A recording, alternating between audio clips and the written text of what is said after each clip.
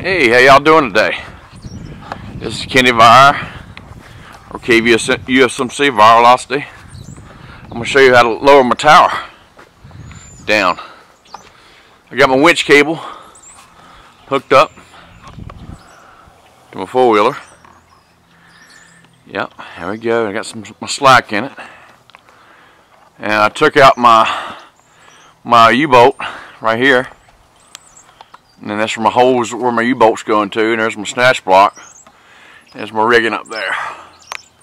And here's this extra support I put up here with about a uh, five inch lag screw going to my header. And these five inch five inch lag screws going to my header also. And anyway, I just want to show you how I got it. And here's how we lower it, and this out comes down that's the center, center bolt pin right there. I'm going to pull out and lower it down. Okay, y'all stand back and watch. Alright. It's a heck videoing yourself, but you gotta do what you gotta do sometimes. If my pants fall down while I'm doing this, don't try not to laugh or nothing. Alright, let's see here. Alright. Oh, we got something now. All right. Y'all ready for a show? All right, here we go.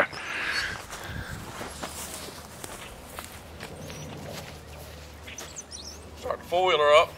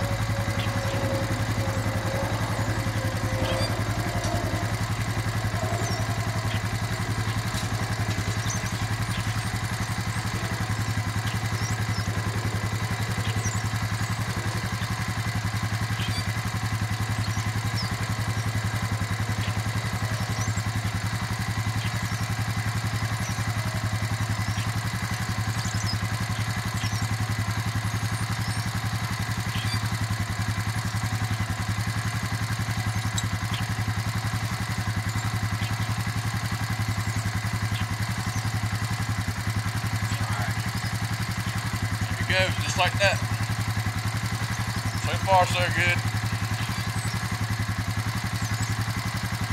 And I got the brake on too, by the way.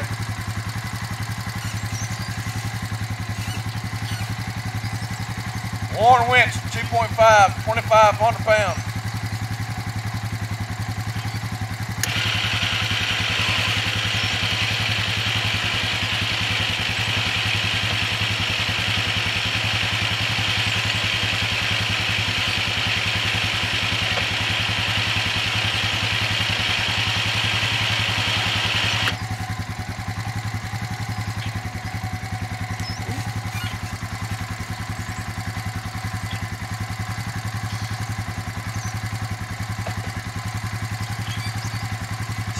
On.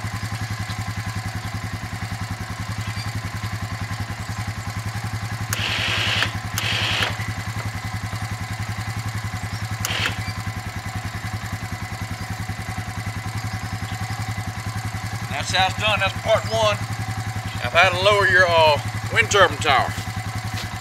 Y'all get that? All right. We'll, uh, I'll get you part two here in a minute. All right.